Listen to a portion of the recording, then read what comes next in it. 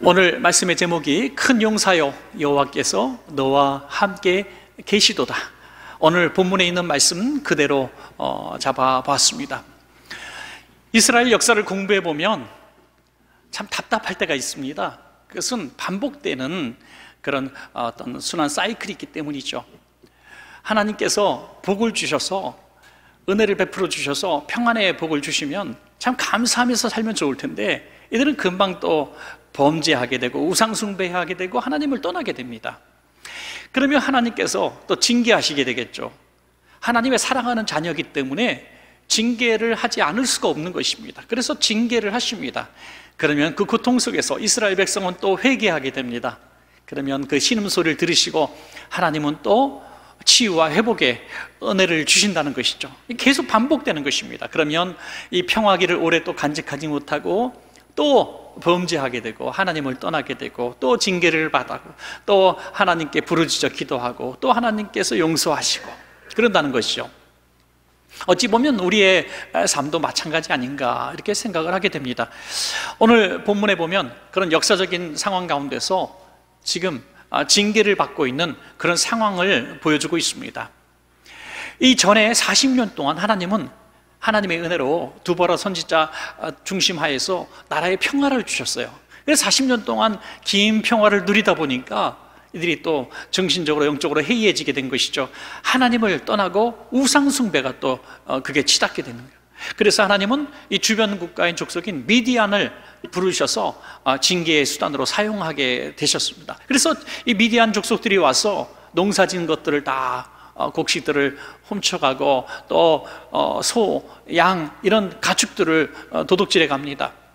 끊임없이 침략하고 공격하고 또 백성들을 유린하니 살 수가 없는 거예요.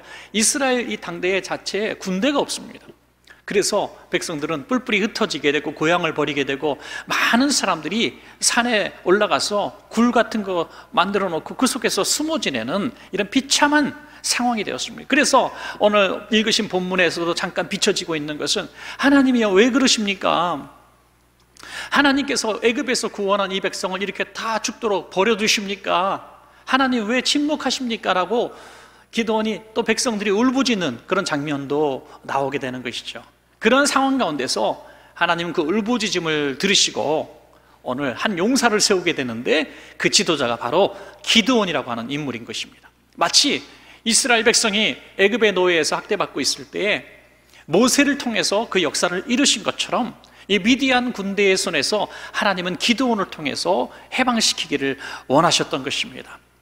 그런데 이 기도원은 절대로 우리가 볼 때에 하나님이 그렇게 부르실 만한 인물이 되지 못합니다. 저는 이 기도원을 말씀드릴 때에 계속해서 모세가 이렇게 겹쳐지게 되죠.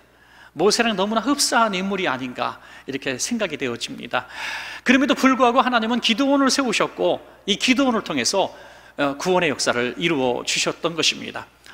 우리는 우리 삶을 통해서 내가 기도원 같은 인물이 되어야지, 내가 큰 용사가 되어야지 하는 생각을 잘 하지 않습니다. 나라가 어려우면 하나님 이 나라를 구원할 모세 같은 종, 기도원 같은 사람을 보내주십시오라고 우리는 기도하기도 하고요. 교회가 어렵고 기관이 어렵고 구역이 어려우면 그런 지도자를 보내달라고 기도하기도 합니다. 기업의 사업체에도 그런 인물을 보내달라고 기도하기도 합니다. 그런데 오늘 본문을 통해서 우리가 분명히 깨닫게 되는 것은 큰 용사는 이 땅에 특별한 사람이 없다는 것입니다. 이 땅에 큰 인물은 없습니다. 누가 그러면 큰 인물인가? 오늘 성경에서 분명히 말씀하고 있습니다.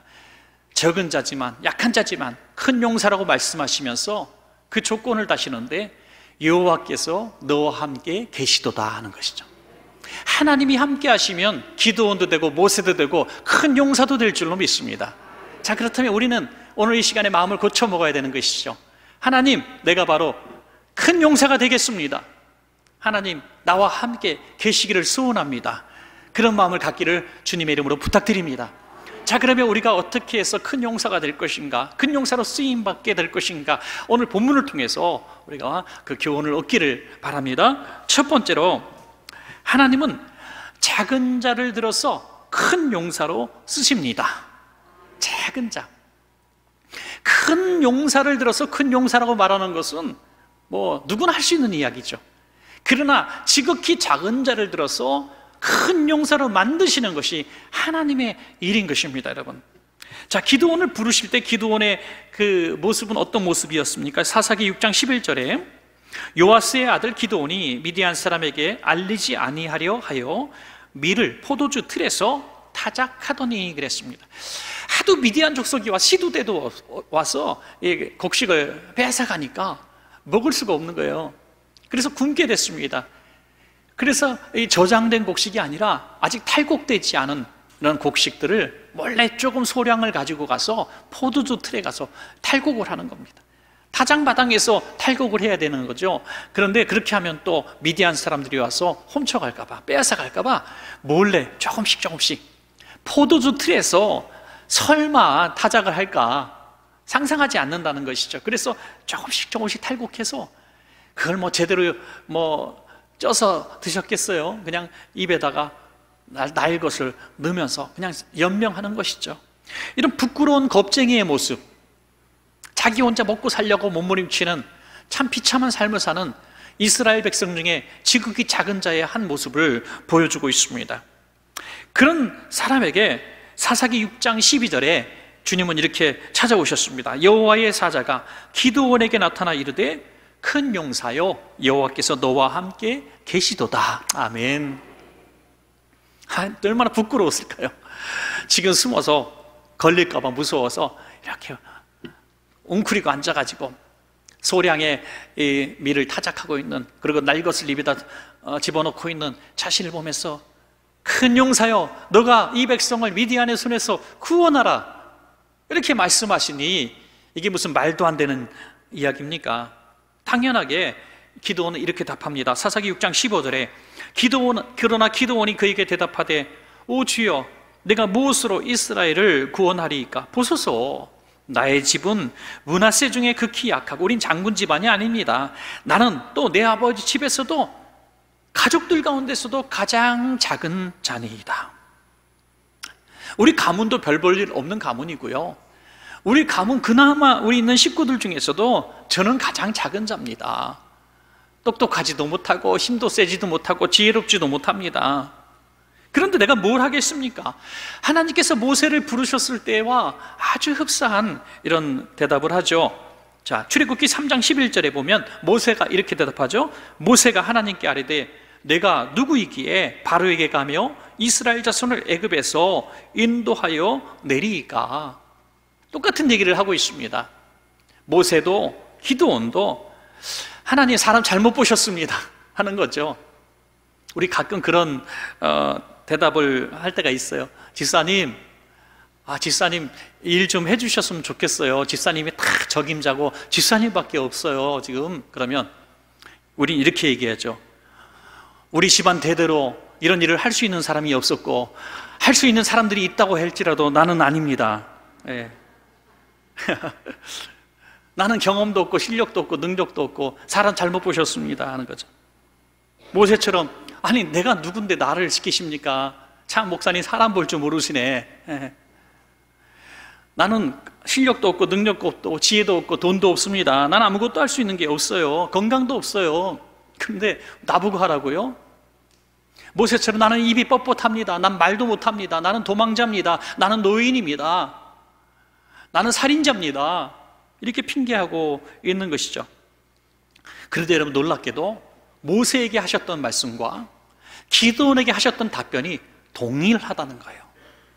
거기에서 우리는 작은 자를 부르시는 하나님의 섭리를 우리가 깨닫게 되는 것입니다. 출애굽기 3장 12절 우리 한번 이 부분만 같이 읽을까요? 시작 하나님이 이르시되 내가 반드시 너와 함께 있으리라. 아멘. 이게 답인 거예요. 하나님의 답은 우리들의 고백한 자화상과 전혀 상관없습니다.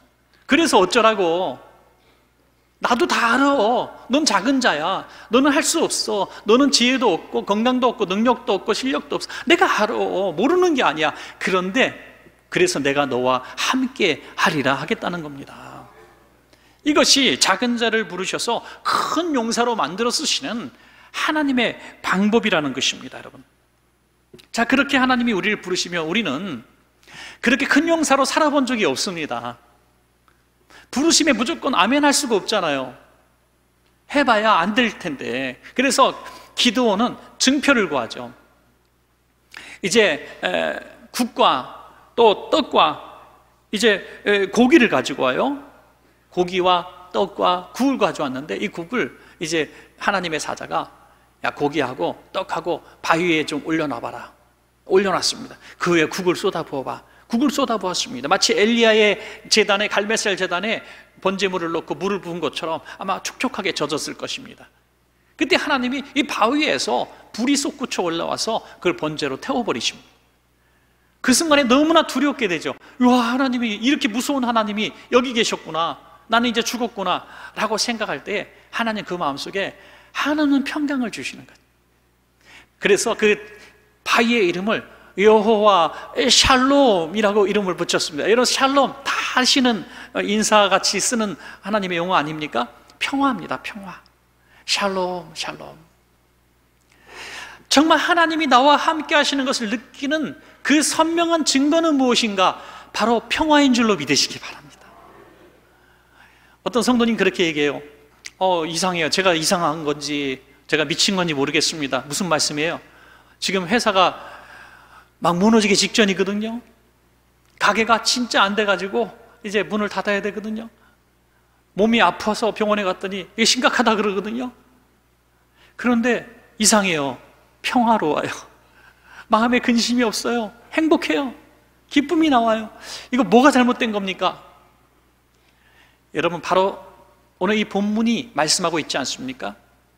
여호와 하나님이 성도님과 함께 하시기 때문에 상황과 관계없는 평화가 유지되는 것입니다, 여러분. 이것이 작은 자, 연약한 자를 들어서 쓰시는 하나님의 방법인 것입니다. 여러분 상황과 형편을 바라볼 때 나는 작은 자고 내 힘으로 도저히 해결할 수 없는 그런 상황 가운데 있는데 여러분 혹시 평화로우십니까? 걱정이 되지 않습니까? 그러면 저는 단언코 여러분께 말씀드릴 수 있습니다. 하나님이 지금 여러분과 함께 하시는 것입니다. 그런데 불행하게도 마음이 심히 불안한 분들 계십니까? 상황이 어떻든 간에 내 마음이 불안해서 도저히 살 수 없는 분이 있습니까? 두근거리고 조급해지고 불안하고 쫓기는 것 같고 잠도 잘 수 없고 각종 정신적인 질환이 막 다가오는 것 같습니까? 상황 때문이 아닙니다. 여러분이 작은 자기 때문에 그런 것 아닙니다. 하나님이 여러분과 함께 하시는 것을 여러분들이 구하지 못했기 때문입니다. 그런 분들은 상황을 바라보지 말고 두려워하지 마시고 마음문을 열고 오늘 이 말씀을 꼭 기억하셔서 성령님 나와 함께 하시옵소서. 성령님 내 마음에 임재하여 주시옵소서. 하나님이 나와 함께 하시는 것을 내가 깨닫게 해 주시옵소서. 라고 기도하십시오. 그러면 하나님께서 여러분 마음속에 함께 하시는 증거로 평강을 주실 줄로 믿습니다. 두 번째로 믿음의 동역자들을 보내주셔서 큰 용사로 쓰십니다. 하나님은 항상 동역자를 통해서 역사하시죠. 독불 장군 하나님 기뻐하지 않으세요. 하나님은 물론 이 기도원 한 사람을 통해서 모세 한 사람을 통해서도 역사하실 수 있습니다. 그러나 항상 동역자가 있어요. 모세에게는 여호수와 갈렙이 있었잖아요. 바울에게도 44, 50명의 이름이 등장하고 있습니다. 기도원에게도 300용사를 붙여주셨습니다. 할렐루야. 여러분, 주님의 일은 사람 없어서 못한다고 말씀하지 마십시오. 하나님이 때에 맞게 돕는 사람들을 붙여주십니다.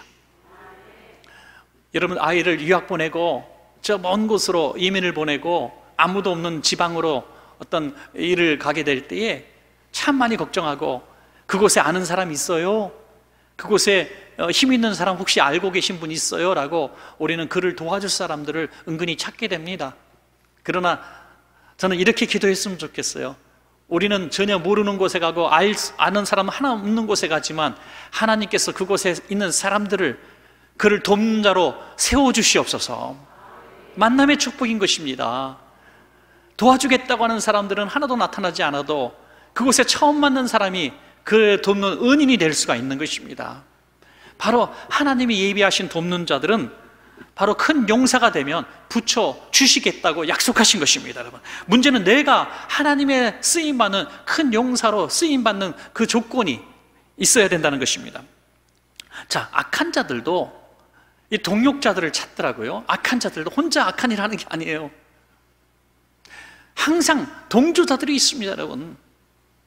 지금 전쟁을 일으킨 그 세력도 고립을 시키고 싶어서 지금 전 세계가 이렇게 외면하고 어, 하늘도 맞고 배도 맞고 하고 있지만 왜 살 수 있는가? 그 또 악한 자들끼리 또 통하는 게 있더라고요. 서로 돕는 게 있어요. 자기들 비슷한 처지이기 때문에 그런 거죠.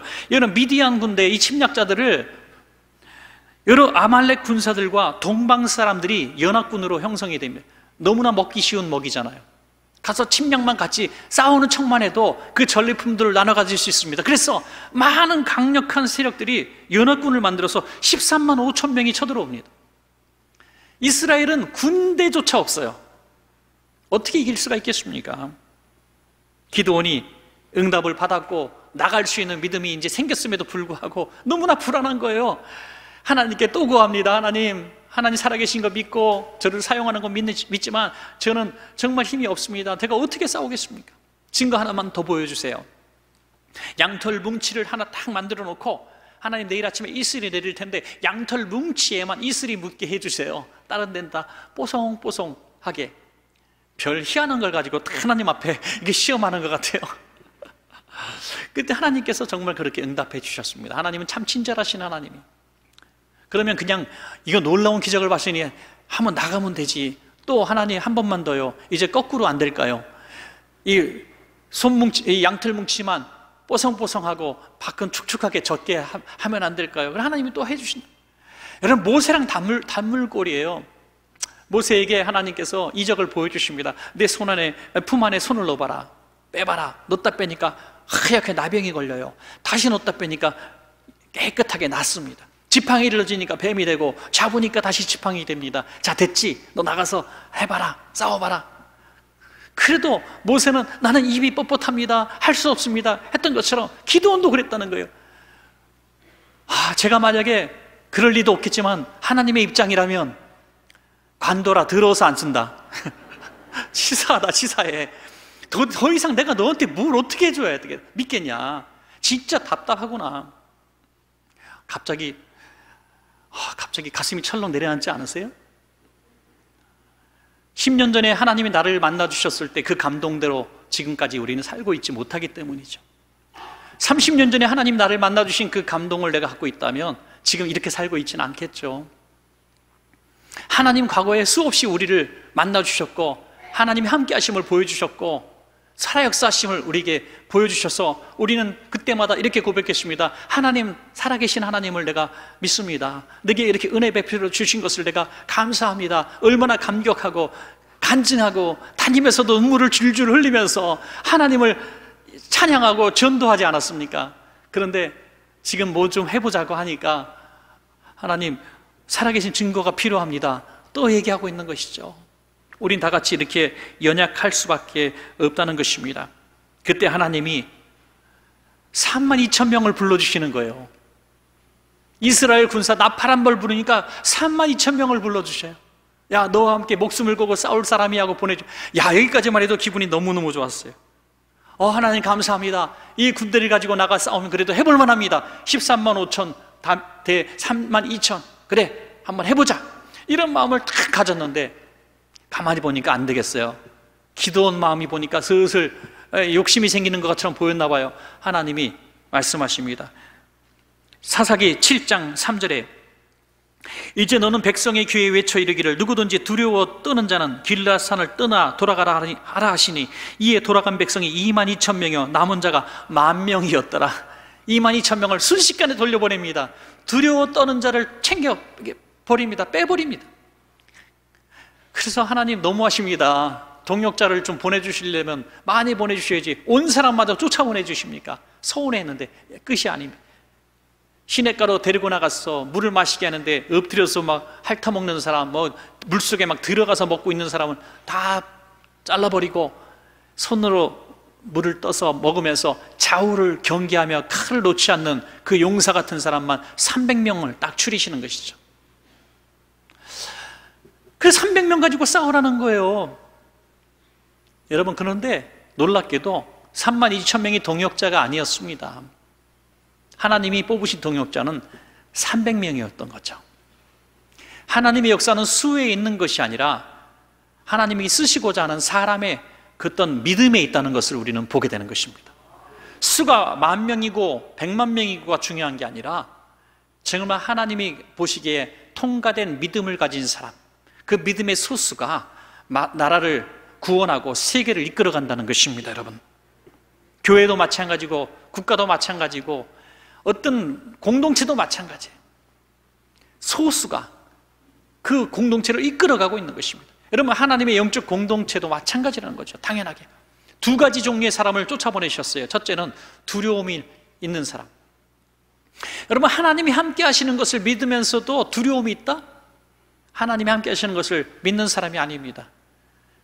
질병이 있건 어떤 환란이 있건 경제적인 문제가 앞에 가득 있건 간에 두려움이 있으면 하나님이 함께 하심을 믿지 않는 것입니다. 그러면 하나님은 그를 큰 용사로 쓰실 수도 없고 하나님의 일에 그를 쓰실 수가 없어서 돌아가게 하시는 것이죠. 또 신중하지 못할 사람들 말 함부로 하고 부정적인 얘기를 하고 철싹철싹거리는 사람들을 하나님 쓰시지 않는다는 거예요. 그래서 돌려보냅니다. 단 300명 침묵을 지킬 줄 아는 사람들 좌우를 분별하며 자기의 임무를 성실하게 준행할 수 있는 그런 하나님의 사람들 300명을 추리신 것이죠. 여러분, 이스라엘 백성이 이 다수결 때문에 망한 민족 아닙니까? 애굽에서 나와서 가나안 땅 목전에 두고 이제 바로 들어가면 되는데 정탐한 나머지 10명의 정탐꾼이 부정적인 얘기를 합니다. 단 여호사 갈렙 두 정탐꾼만 긍정적인 얘기를 하죠. 그런데 이 부정적인 10명의 다수결의 이야기를 듣고 전 백성이 울고 통곡하는 바람에 이 백성은 망해버렸습니다. 한번 생각해 보십시오. 차라리 여호사와 갈렙만 정탐꾼으로 보내봤다면 어떤 결과가 났을까요? 저는 성경을 이렇게 재밌게 한번 없는 얘기를 지어내는 것도 즐겁게 생각합니다. 있지도 않은 얘기고 참 불행한 결과를 낳은 사건이지만 만약에 하나님이 모세를 통해서 야 모세야 너 다 보내지 말고 쓸데없는 사람 보내지 말고 두려워하는 사람 보내지 말고 말 함부로 하는 사람 부정적인 사람 보내지 말고 믿음 있는 사람 두 사람만 뽑아서 보내. 여호사와 갈렙만 딱 보냈다고 생각합시다. 여호사와 갈렙이 와갖고 갑시다. 하나님이 주신 땅입니다. 문제 없습니다. 하면 백성들이 우하고 가난 땅에 들어갔을 줄로 믿습니다. 그런데 믿음 없는 쓸데없는 다수결이 이 나라를 망치고 민족을 망치고 가나안 땅 못 들어가고 광야에서 다 죽게 만들지 않았습니까? 이 믿음 있는 300명만 갖고 일하시겠다는 겁니다, 차라리. 조용하게 순종하며. 왜냐하면 이 300명 같은 사람 아니면 이 전쟁에서 싸울 수가 없기 때문에 이 전쟁이 어떤 전쟁이었어요? 칼과 창으로 싸우는 전쟁이 아니라 항아리에 햇불 담아 가지고 나가는 전쟁이었습니다. 여러분 또 한 번 상상해 보세요. 3만 2천 명 그대로 두고 여러분이요 칼 내려놓으세요, 창 내려놓으세요, 항아리 들으세요. 그 안에 햇불 넣으세요. 자 갑시다. 그러면 3만 2천 명 중에 적어도 한 2만 명, 3만 명이 소리쳤을 겁니다. 장군 당신 미쳤어? 우리를 가서 죽으라고 하는 소리야? 무슨 칼 갖고 전쟁해야지 항아리 갖고 전쟁해 햇불 갖고 전쟁해 하면서 기도원을 대적하고 웅성웅성거리고 불평의 분자들을 소요, 소요를 일으켰을 거예요. 그러면 전쟁에서 실패할 수밖에 없죠. 그러나 뽑고 뽑힌 300명이기 때문에 침묵합니다. 그대로 순종합니다. 이게 무슨 전쟁인지도 모르면서 항아리에 햇불 담아가지고 나갑니다 여러분 그래서 300명에 뽑힌 사람들인 거죠. 여러분 교회가 어렵고 힘들 때에도 사실 조용히 자기 자리에서 순종하는 그들이 있었기 때문에 교회가 조용하게 평화롭게 오늘 할 일을 하는 교회가 되는 것입니다, 여러분. 처음에 성전 건축하고 막 이자가 너무 많아서 교회를 하고 싶어도 할 수 없게 될 때 기도원 300용사 헌금이란 걸 만들었잖아요. 여기 오늘 말씀과 부합되는 부분이기도 하죠. 기도원 300용사는 뭘 하는 헌금을 하는 사람이냐면 그냥 다른 거 다 필요 없고 이자만 담당하자는 것이었어요. 이자. 그냥 조용히 300명만 만들어지면 이자가 담당하게 되더라고요. 이자가. 그래서 이분들이 조용히 월정 헌금을 낸 거예요. 그래서 정말 이자를 감당하게 되었고 이자 걱정 없으니까 선교와 구제와 교육에 전혀 문제 없이 똑같이 쓸 수가 있었던 겁니다. 할렐루야. 바로 누가 뭐라 그래고 많은 수가 필요한 게 아니에요. 그냥 소수지만 뽑힌 사람들이 조용히 자기 몫을 담당하는 것이죠. 저는 요번에 농어촌 선교를 다녀와서도 또 그런 참 은혜를 느꼈습니다. 아, 벌써 열다 섯 번째 농어촌 선교를 다녀왔고 요번에도 어, 스물세 분의 우리 성도님과 함께 다녀왔습니다. 참 은혜로운 발걸음이에요. 특별히 저는 섬에 갈 때마다 참 마음이 아, 울컥해요. 28년째, 어, 뭐 30년째 섬에서 사역하는 분들이에요. 어, 여러 섬에서 정말 그 여수 앞바다 우리 노래나 부를 줄 알았지 여수 밤바다 하면서 노래나 부를 줄 알았지 여수 밤바다 속에 잊혀진 산장처럼 외롭고 고독하게 거기서 30년째 목회하는 사람들은 생각지 못했습니다. 교인이 많긴 하나요? 9명, 10명입니다. 그분들을 붙들고 30년째 목회하면서 제일 힘든 건 내가 무능한 목회자기 때문에 내가 배우지 못한 목회자기 때문에 내가 실력 없는 목회자기 때문에 도시에 나가서 목회하지 않는 건 아닌가. 그런 생각을 한다는 거죠. 우리 애들이 아버지 목사 잘못 만나가지고 초등학교, 중학교 때부터 무트로 나가갖고 생리별하고 부모 손길이 그렇게 필요할 때에 한 번도 안아주지 못하고 대학 가고 졸업하고 결혼할 때까지 섬에 들어와 만나, 만나지 못하기 때문에 그렇게 생리별한 자식들이 얼마나 마음에 밟히겠어요? 그러면서 그걸 한없이 고독하고 외롭고 자책을 하고 그런다는 거예요. 저는 그분들에게 오늘 이 메시지를 들려주고 싶으세요. 싶습니다. 우리 귀한 목사님들은 작기 때문에 그런 것이 아니라 연약하기 때문에 그런 것이 아니라 뽑고 뽑은 300용사이십니다. 뽑고 뽑힌 사람들. 목사님이 아니면 도무지 있을 수 없는 곳이기 때문에 목사님 같은 분을 보내신 거예요. 그곳에서 그 잃어가는 영혼들, 죽어가는 영혼들을 다 끌어안고 그들의 생사화복을 막다 같이 느끼면서 그들과 함께 목숨을 나눠가며 생명을 나눠가며 살아가는 그 목회자들 그들이 있기 때문에 그 섬의 영혼들을 하나님은 맡길 수가 있는 것입니다 크고 화려하고 많고 능력 있고가 아니라 하나님의 손에 들린 용사가 되는 것이 복인 줄로 믿습니다, 여러분.